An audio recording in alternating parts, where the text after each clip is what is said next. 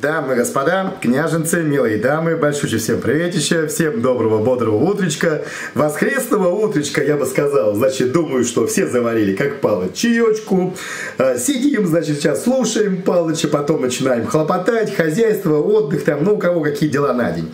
В общем, сегодня, прежде чем вам что-либо рассказать по последнему ролику Натали, я хотел задать вам такой один единственный вопрос. Ребята, Э, в чем отличие между свиньей и крокодилом, хотел сказать? Нет, между свиньей и львами.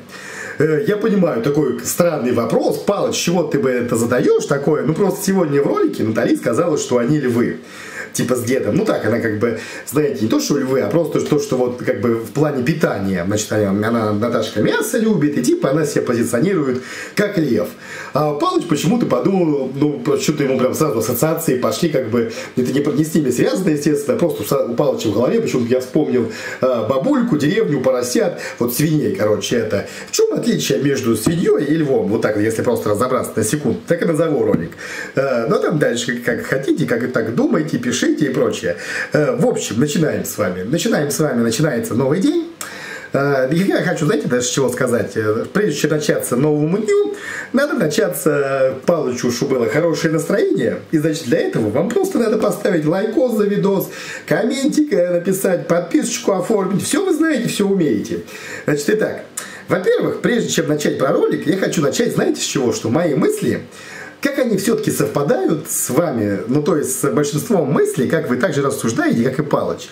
Где-то, наверное, ролик назад, может быть, два назад ролика, я говорил про то, что когда Губарева говорила, что надо будет дрова пилить, надо будет то, надо будет это, я так и сказал, что все только надо. Все это влажные мечты, влажные фантазии Натали, все как было, все так останется. Пока, говорится, петух не клюнет, Натаха ничего не начнет делать. Это уже прописная истина, все мы ее изучили как облупленную. Значит, так и сегодня. Значит, под роликом читаю комментик. Комментик набрал очень большое количество лайков. Я думаю, что наша аудитория его залайкала. Значит, комментик был такого плана. Значит, специально выписал а, а, коммент. Значит, не, а, не пора думать, пора давно заготовить дрова и уголь. И тут же ребята, ну, то есть тут они, Губарев все время ведь говорит, «А, думать буду, думать, пора, пора это делать, это делать. И в итоге по факту ни хрена нету. Человек, то есть это подметил, хорошо написал, что давно уже все надо было это сделать, все уже люди там, все соседи все это поделали. Значит, на что? А, сразу последовало, последовали такие, знаете, оппозиция, оппозиция, гневные комментарии ее аудитории, там, не лезь, не твое дело, э, типа разберутся сами, там, ну и все в таком плане. При этом, знаете, вот эти все вот комменты, а, на удивление, были залайканы Натахой. То есть там, где критика и там, где говорится правда, это мы не любим, это мы не лайкаем, а ближе по душе, э, естественно, лайкос. Лайкос на комментарии и, собственно говоря, не ваше дело. Э, все у нас нормально, все у нас на мази. Ну да ладно. Значит, вообще, а, про что ролик-то сегодня был? А, ролик был про то, что, думал, я, я всегда записываю микромоменты, про что вообще стоит трещать. Итак, значит, сегодня у нас ролик про то, как Наталья готовила рыбу. Она нас учит готовить рыбу, а дед учит готовить лебешки с тыквой. Я, правда, по итогу, как бы нет, по итогу это можно назвать рыбой, то, что получилось. Другой вопрос, вкусно ли это. А, сейчас скажу не то, что вкусно, нет, понятное дело, рыба. Как бы мясо трудно испортить, так же, как и рыбу трудно испортить. Но при этом, если ты готовишь с душой, с любовью и какими-то, знаете, с небольшими нюансиками, можно приготовить все гораздо вкуснее. Начинаем с лепешек. Значит, испек дед лепешки, Натаха этой лепешки не любит.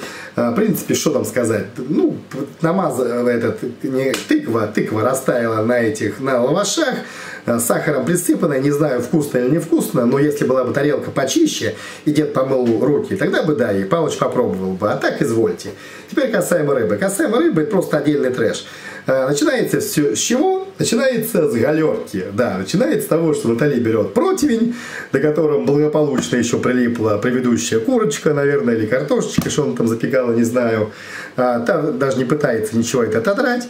Просто тупо сверху пергамента, фольги застелим, и так пойдет, и так пожрем, типа, да. И к чему еще воду тратить? Тарелки помыть не может, две тарелки в раке, или тут надо еще противень оттирать. Поэтому э, ну, поэтому э, грязь, сало, жир э, везде там присутствует, в этой хате, в кухне и так далее. Значит, начинаем с рыбы. Рыба морозовая. Рыбу надо разморозить, конечно же, прямиком, прям в микроволновку. Херак ее. Знаете, вот интересный такой микромомент с тем, что микроволновки и жрать готовит, и жарит и парит, и рыбу размораживает. Смотрите, какой там запахан. В этой микроволновке запахан, собственно говоря, пока она размораживается, я так понимаю, что на эти все запахи посторонние впитает рыба. Ну, ничего страшного, Натали.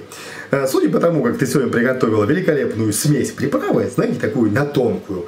Наташке надо, знаете, так вот когда на рынке стоят и приправы из, это, из пакетов там мешают там на плов, еще на что-то. Вот Натали прям надо такой же э, быть такой, знаете, э, женщиной, которая будет стоять и все это мешать. Прям она так будет преподносить.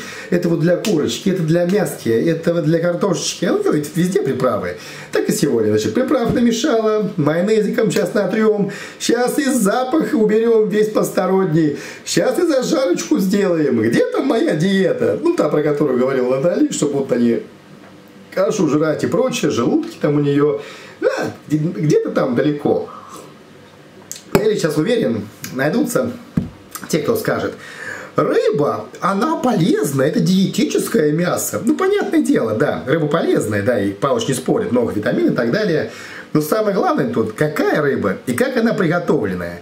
Как вы сами понимаете, скумбрия сама по себе жирная рыба. И если ты ее отягощаешь ее а, всевозможными майонезами, пережарками, то ты как бы не есть хорошо. Просто сварил ее, не знаю, просто испек там. Жарить, конечно, может быть, конечно, жарить, это вкусное. Но палыч в основном ее варит рыбу, э, именно скумбрию, чтобы было поменьше всякого этого жира. Значит, что в данном случае мы видим по факту? Положила скумбрию в эту фольгу, додумалась, ну, потому что у нее вечный век все горит. Тут хотя бы не сгорит. Но при этом, при всем, рыба получилась чисто печеная. Да я даже не знаю, печеная, вареная какая. Опять вот, неужто не хватает вот ей вот в голове соображалки взять и под конец разрезать эту фольгу, э, Натали, разрезать, а не облизывать, как ты начала ее облизывать. Фу, противно же было смотреть. Разрезать ее аккуратненько, каким-нибудь там сверху перчиком там присыпать слегонца, там, да, даже не знаю, но если она до этого не клала туда никак, никакие бы морковки и прочее, там, грибочков просто там сухих, там, сверху покрошить, там, шампиньончиков чуть-чуть. Все, такая зажарочка получится великолепно, рыбочка немножечко просушится. А, может, конечно, и то, это такой вариант, ничего, но палыч при, при, при, всегда примерно разрезает. А, если, конечно, рыба никакая там семга, форель, такую там, да, лучше пускай она там потомится, будет в собственном соку. А такую рыбу, она жирная, почему бы ее под конец бы не разрезать? Э, фольгу именно. Ну да ладно, приготовила то, что приготовила, на тарелке разложила. Все, как говорится, милости прошу к нашему шалашу. А, что за день опять сделано, непонятно. А, пожарена рыба, что она вообще хоть опять все за день сделала? Пожарила рыбу, все на этом, уже вечер, темень. А, делов никаких не делает, все стоит на месте. Только в очередной раз говорит нам про то, что, ребятки, я закупила две, значит, это две цепи на пилу. Еще, говорит, и бензин надо, и то надо, и все надо, и будем дрова пилить. Вы знаете, как будет все по факту? Палыч вам просто говорит, как есть, э, не более, не менее. Значит, да, возможно, это что-то будет пилиться, будет готовиться, но готовиться будет не как готовит бабку Олю, которую... Извиняюсь, до конца еще не вылечился. А, не так, как бабка Оля готовит, у которой уже полный чулан этих э, дров. У Кубаревой будет все иначе. Как уже вам ранее говорил, когда будет мороз на пороге, и когда уже они будут зубами стучать в хате сидеть, тогда, собственно говоря, Наташка будет э, чесать репу, бежать на улице, на улицу, э, рубить свои, пилить дрова. На этом все. Ни больше, ни меньше. Все будет делаться лишь тогда, когда, еще раз мы с вами уточним и скажем, когда клюнет в жопу петух. А, сделать что-то заранее, ну, вы сами понимаете, лень матушка всему мешает. А лучше ведь не дрова рубить, а не хозяйством заниматься, не делами, а просто занять горизонтальное положение и лежать отдыхать целый день. Еще если рядом будет Танюха, еще круче будет. Так что вот так, ребята. Кстати, время заканчивается. Я убегаю. Большое спасибо всем за просмотр, лайк, комментарии, подписки. С вами был Павел. До новых встреч. Всем пока.